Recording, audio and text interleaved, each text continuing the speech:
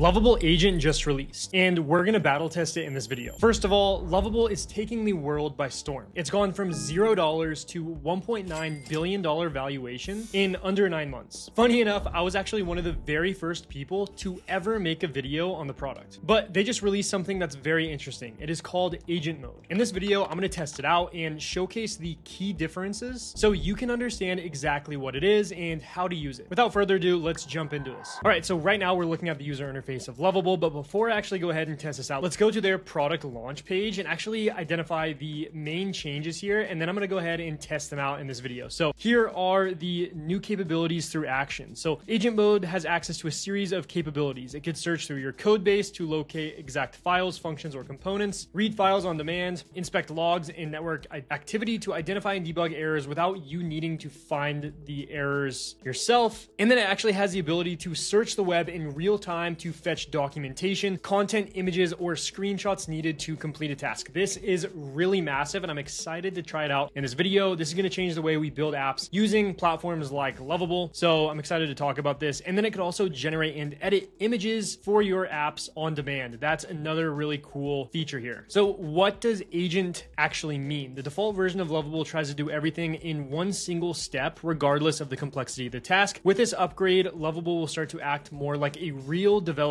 So that's very interesting. We obviously want Lovable to act as if it's a full developer. So let's see if we're able to do that in this video. For every user request, it will first interpret what you're trying, what you are asking for, explore the code base as needed, uncover missing context, make the right changes, auto fix issues as they come up, and wrap up with a clear summary. So instead of us having to go back and forth with our lovable, you know, prompt here, we should be able to write out what we're trying to build and it should be able to go through and iterate and make changes and actually reason through and think through the best way to perform a task without us having to actually be hands on with this. And quickly, let's touch on pricing here because this is a big update as well. Agent mode is priced differently from our other models. In our current default in chat mode, each message costs one credit regardless of the complexity of the edit. And then agent mode uses usage based pricing requests that can cost less than one credit or several credits depending on their complexity. Simple requests may cost less than one credit. So we don't really know how much each of these prompts will actually cost us when it comes to credits. So that'll be interesting to play around with. You can see it actually shows how many credits it used for each different iteration that it makes. All right, now that we understand kind of what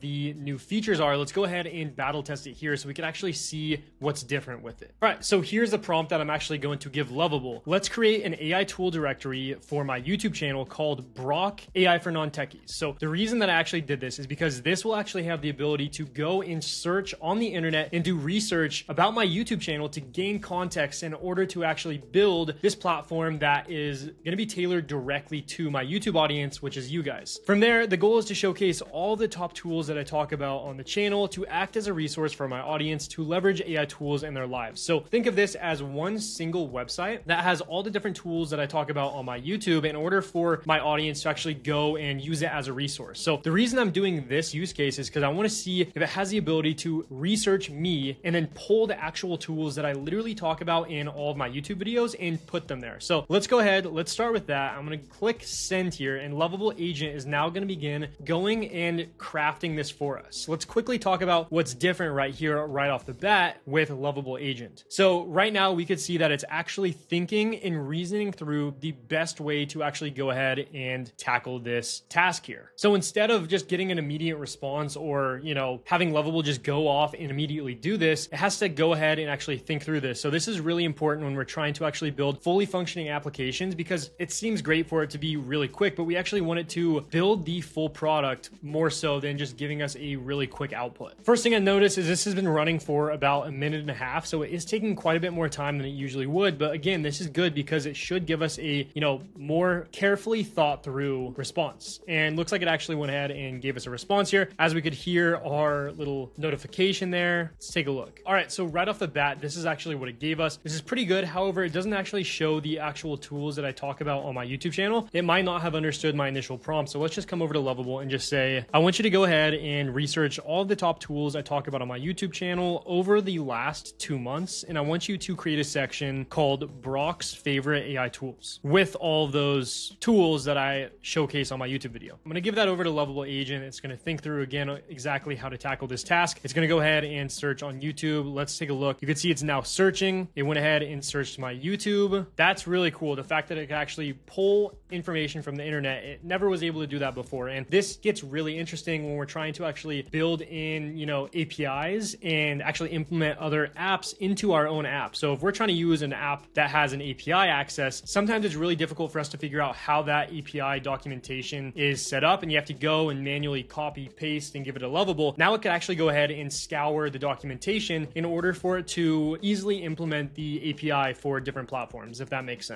All right, so that took maybe a minute or so, and you can see we now have a page here called Brock's favorite AI tools. And these are AI tools personally tested and featured by Brock on his YouTube channel. These are all actually platforms that I have talked about on my channel. So we have Abacus AI, Chat LLM Teams. We have GenSpark AI, which is one of my favorite AI tools. I absolutely love GenSpark. We have SynthFlow, which is an AI voice and calling platform. We have Bolt.new. We have Lovable, DataButton, Manus, Google Opal. All of these are different platforms that I've actually covered on my YouTube channel. That feature is actually working now. That's pretty cool. It's able to do that. So I'm to go ahead. I want to change up the user interface of this platform a little bit. So let me go ahead and do that. All right. So this is pretty cool. I think this user interface looks a bit better than before. It's nothing too crazy, but this is off just our first initial prompts that we gave it. But one thing I really want to mention here to showcase the, you know, kind of capability of agent mode here is if I go ahead and click on one of these, you know, tools, for example, on AI agent, these are the different AI agent tools that I've covered on my YouTube channel, which it went ahead and actually searched for. And if I click on this, it will pull me directly to the video where I actually talk about this platform. So you can see in this video, I talk about GenSpark AI agent, the best AI agent I've ever used. That is really cool. Same thing for Manus. If I click on this, it will take me to a video where I actually use Manus AI. And that is really cool. It's actually pulling real live information. So let me go ahead and make some more changes to our app here. Actually, something I want to mention I didn't even notice before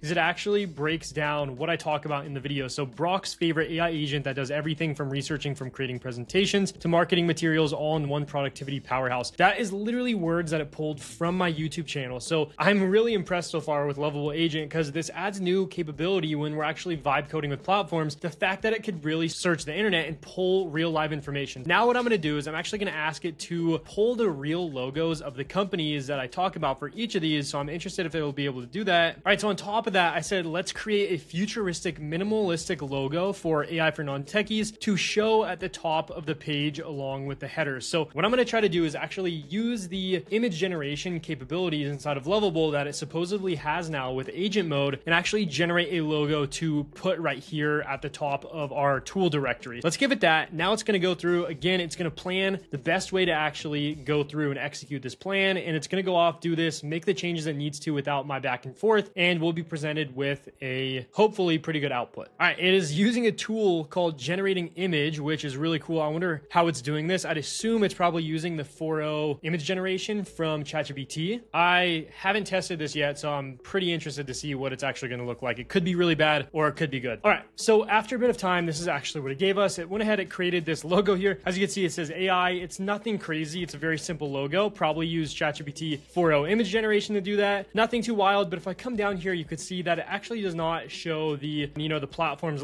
aside from ChatGPT, which it was able to actually pull. I'm not sure if it tried to pull these images, like actual images from the internet by searching for them, or if it was trying to generate them with AI, which it seems like it was actually trying to generate. For whatever reason, that did not work, but let's go ahead and move on and actually try to add a database to our application. And I want to see how simple this is using Lovable Agent compared to, you know, the normal Lovable. So I'm just going to come over to Ask Lovable here and say, let's go ahead and now add a database to our application. Basically, I want to be able to submit an AI tool. And once that is submitted, I want it to actually store in the entire app and always show that tool, even if I refresh the application. So let's go ahead, send that off. I feel like I know what's going to happen. It's going to probably prompt me to set up Supabase, or it actually might go ahead and set up Supabase for me, which would be new in, in the Lovable agent. Looks like it thought for five seconds. To add database functionality, you'll need to connect your Lovable project to Supabase. So let me go ahead and just click on Supabase here. I'm to connect it to my Supabase account. All right, so I went ahead actually connected my Supabase account. That was extremely simple. So let me go ahead and looks like I actually don't have the ability to add a tool. So I'm just going to come over here and say, let's add the ability to add an AI tool to store on our tool directory. So now it's going ahead writing all this fancy code here, actually creating the rules for my database in order for this to work. Looks like I could actually just apply the changes. Should be good to go and running now. Actually looks like it just caught an error without me actually having to go and, you know, find find that. So that's pretty interesting. Looks like the security issue is now fixed and it's going to go ahead and begin implementing this and creating this database. All right, so went ahead, add database. It ran into multiple errors, but it caught the errors before me even actually having to try and, you know, tell it to fix itself. So that's great. I guess the agent is doing its thing. And I'm going to come here. Let's just come and just say, you know, add a tool. Let me go ahead and add all this and we'll come back to this. All right, so I added the tool. You can see ChatGPT is inside of my Supabase now. That is great. And now we have it added to our database that Lovable was able to actually just build for us. All right, so now that we tested the power of Lovable Agent, let's go ahead and check the amount of credits that have been used to see actually, you know, how cost efficient this is. All right, so if I come over to my credits, you can see I have 91.7 of my 130 credits left based on the plan that I'm on. So it looks like I have 130 credits per month and I simply used Lovable just for this video. All right, so let's actually go ahead and calculate how many credits I used for this video. So 130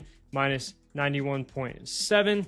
So it looks like I used actually 38 credits. That's pretty interesting. So hopefully that gives you an understanding of how Lovable Agent actually utilizes your credit since the credit system is a bit different since it actually has to go ahead and, you know, go through reasoning and searching the internet and it actually uses credits in order to do that instead of just like one credit per one response, if that makes any sense. All right, guys, there you have it. That is Lovable Agent. If you guys want to try out Lovable, there is a link in the description. If you enjoyed this video, make sure to subscribe to the channel for more content like this. If you want to learn AI as a non-techie, I cover it all on this channel. With that being said, guys, thank you for staying to the end. See you in the next video.